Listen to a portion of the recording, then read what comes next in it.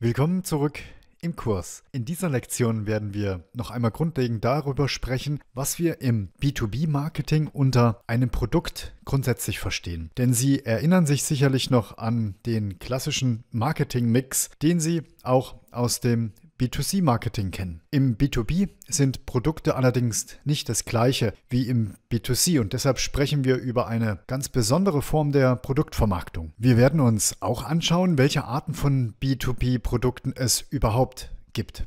Okay, lassen Sie uns mal starten. Ein ganz einfaches Beispiel, an dem sich das Prinzip des B2B-Marketings ganz gut erklären lässt, ist die technische Vermarktung von Geräten zur Abstandsmessung. Und Sie haben wahrscheinlich schon einmal gesehen, wie Abstände in der Industrie gemessen werden und bestimmt werden. Hauptsächlich wird das im Qualitätsmanagementbereich oder eben auch in der Produktion und Fertigung eingesetzt. Die Messung ist immer nur so gut wie auch das Messgerät tatsächlich kalibriert ist. Und die Kalibrierung eines Messgeräts ist eben ein aufwendiger Prozess, den nur spezialisierte Unternehmen leisten können.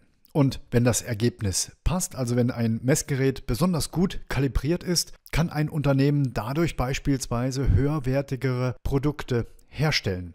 Wenn wir also als Hersteller im B2B-Marketing über den Verkauf und Vertrieb eines bestimmten Messwerkzeugs oder eben eines normierten Messinstrumentes sprechen, dann verkaufen wir letztendlich nicht nur das Messinstrument, sondern der Kunde möchte tatsächlich mehr Präzision im Vorgang der Messung. Und durch die Präzision die unser Messgerät liefern kann, bekommen wir letztendlich auch die Aufmerksamkeit, die wir für die Vermarktung beim Kunden überhaupt brauchen. Wenn Sie also ein Hersteller für Präzisionsmessinstrumente sind, dann könnten Sie in der Annahme liegen, dass Sie ein bestimmtes Messinstrument oder ein Messverfahren meistens über technische Features an den Kunden verkaufen müssen. Sie vermarkten also ein Produkt. Das kann über eine Messe oder einen Verkaufsstand geschehen, indem Sie dann besonders tolle technische Verfahren, Features und Standards anpreisen. Aber die richtige Antwort darauf ist, dass das, was Sie verkaufen, eigentlich nicht das technische Feature ist, sondern vielleicht das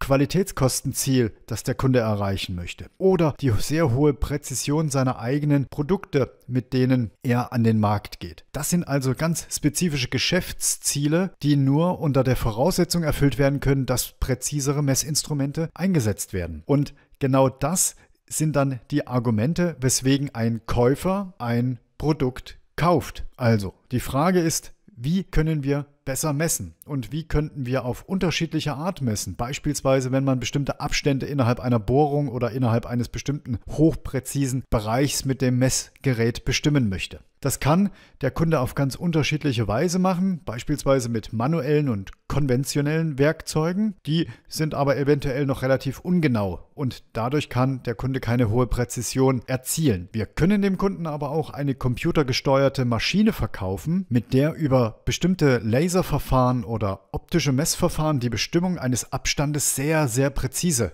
gewährleistet werden kann. Wir können es also über die Innovation versuchen, mit der wir in der Lage sind, das Problem des Kunden zu lösen, nämlich das Geschäftsziel der Kostensenkung zu erreichen oder der höheren Qualitätswerte, die er in der Industrie erzielt. Aber was bei dem Verkauf dieser Lösung interessant ist, ist, dass diese auch eine bestimmte Dienstleistungs- und Service-Dimension hat. Denn wichtig zu verstehen ist, dass im B2B-Marketing der Service rund um den Betrieb, die Einrichtung, die Kalibrierung oder eben ähnliche Verfahren, die notwendig sind, um eine technologische Präzisionsmaschine in Gang zu bringen, eine sehr große Rolle spielen. Und wir alle neigen dazu zu glauben, dass Service und Dienstleistung nur im B2C, also im Endkonsumentensegment von großer Bedeutung ist.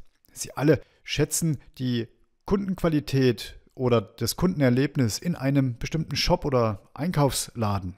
Oder sie schätzen auch die Geschwindigkeit, mit der Amazon die Lieferungen an sie ausliefert. Aber das ist eben nur das, was wir als Endkunden im B2C-Segment wahrnehmen. Die Wahrheit ist, dass es im B2B-Marketing noch viel wichtiger sein kann, guten Service und vor allem individuellen Service zu leisten. Und aus diesem Grund müssen wir auch den Wert wirklich verstehen, der im B2B-Marketing eigentlich an den Kunden verkauft wird. Und hier kommen wir zu einer sehr interessanten Differenzierung, nämlich der Bedürfnisdifferenzierung aus Sicht des Kunden. Ein Kunde nimmt beim Verkauf eines bestimmten Produktes sowohl das Materielle eines Produktes, aber eben auch das Immaterielle wahr. Und genau Diese Wahrnehmung können wir uns zunutze machen und als Hersteller tatsächlich diese beiden Welten miteinander kombinieren und diese unterschiedlichen Bedürfniskategorien adressieren. Wir sprechen dann auch von einer kundenspezifischen Anpassung, was im Grunde genommen ein Marketinginstrument aus einer Kombination aus materiellem und immateriellen Warenwert ist. Und gerade bei der kundenspezifischen Konfiguration der Produkte im B2B-Marketing kommt nun wieder das, was wir bereits beim Buying Center kennengelernt haben, ins Spiel. Es geht nämlich um die Logik, wie das B2B-Marketing tatsächlich in Richtung des Kunden aufgebaut wird. Eine entscheidende Komponente im B2B-Marketing-Mix ist die sogenannte Vorplanung. Im Englischen wird dies auch als Pre-Engineering bezeichnet. Neben dem Vorplanungsmoment gibt es das eigentliche Hauptmarketing, wobei es tatsächlich um die Kombination aus dem Produkt und der Dienstleistung als solches geht. Und am Ende sprechen wir in diesem Prozess Sicht eben über den Kundensupport, der möglichst herausragend ist und besser als der des Wettbewerbs. Und wir können dies auch als Post-Marketing-Phase bezeichnen. Der Punkt ist hier, dass all diese Phasen aufeinander aufbauen. Aber der große Unterschied zum B2C ist der, dass in jeder Phase unterschiedliche Ansprechpartner im Unternehmen für genau diese Themen ins Spiel kommen. Und Sie erinnern sich womöglich, dass die Anzahl der Mitglieder in einer Einkaufsorganisation unter Umständen sehr hoch sein kann. Wer ist also letztendlich für die Phase des Pre-Engineerings auf Kundenseite zuständig? Wer entscheidet dann über das eigentliche Angebot und die Produktkonfiguration? Und wer ist derjenige, der tatsächlich für Service und Kundenqualität beim Kunden zuständig ist? Zum einen kann dies eine technische Abteilung sein. Und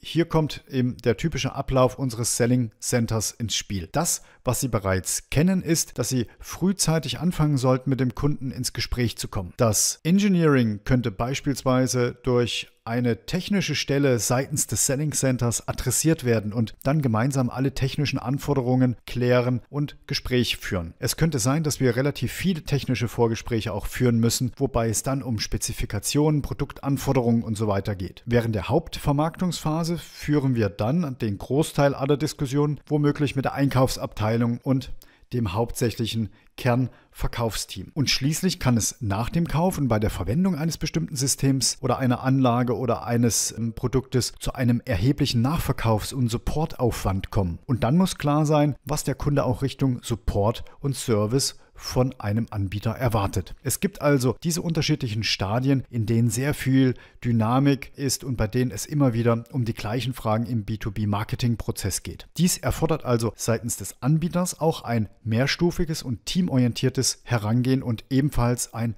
systematisches Konzept. In diesem Sinne kommt es wirklich auf die Logik an, die wir in unserem Selling Center in die Vorbereitung der Informations- und Verkaufsaktivitäten stecken. So können wir beispielsweise in einer späteren Phase sehr einfach auf die gestiegenen Anforderungen beim Kunden im Service reagieren und konkrete Angebote unterbreiten. Das Pre-Engineering ist aber auch insofern wichtig, als dass wir sicherstellen, dass wir die Spezifikationen liefern, die der Käufer braucht und diese eben zu den Kosten, die dem Bedarf entsprechen. Und auch das Post-Marketing kann recht profitabel sein, wenn unser Servicemodell entsprechend designt ist. Es macht also sehr viel Sinn, über ein solches stufenweises Vorgehen zu sprechen und tatsächlich auf die Details einzugehen, die in diesem Verkaufssystem stecken. Der Punkt bei diesem Thema ist es also, dass tatsächlich die Planung im B2B-Ablauf entscheidend ist und Auswirkungen auf den Erfolg hat. Schauen wir noch kurz auf die Operationalisierung und die Umsetzung dieses stufenweisen Prozesses im Selling Center. Dies kann differenziert nach Rollen und Verantwortungen geschehen. Ein Instrument, um die Kontrolle über die Planung dieser einzelnen Aktivitäten und Verantwortlichkeiten zu behalten und transparent zu machen, wer wann für was verantwortlich ist, ist die sogenannte RACI-Matrix. Das RACI, also R-A-C-I geschrieben, ist ein Instrument aus dem Projektmanagement. Damit wird es möglich, in jeder Ablaufphase die richtigen Personen zu bestimmen, die für einen Prozessschritt die Verantwortung tragen. Wir können also genau sagen, wer die Verantwortlichkeit hat für einen spezifischen Punkt innerhalb dieses Vertriebsansatzes. Der Buchstabe R signalisiert dann die Hauptverantwortung. Wir können auch sagen, wer beispielsweise hier Freigaben zu Kosten oder zu Aufträgen erteilen kann. Das wird mit dem Buchstaben A signalisiert. Wenn wir jemanden hinzuziehen wollen zu einem bestimmten Fachthemenfeld, wo nicht nur eine einzelne Person Entscheidungen treffen kann, wird dies mit dem Buchstaben C signalisiert. Und nicht zuletzt gibt es noch denjenigen, der über diesen bestimmten Vorgang in einer einzelnen Prozessstufe informiert werden sollte. Dafür gibt es dann diesen Buchstaben I. Und Sie sehen anhand dieses Beispiels, wie komplex dann am Ende sich eine solche Aufgaben- und Verantwortlichkeitsmatrix zeigen kann. Am Ende wissen wir aber, wer im Selling Center und natürlich dann umgekehrt auch im Buying Center die Schlüsselpersonen sind, die für eine bestimmte Phase zuständig ist, wer die Ansprechpartner auch auf der Gegenseite sind und welche Informationen mit wem ausgetauscht werden.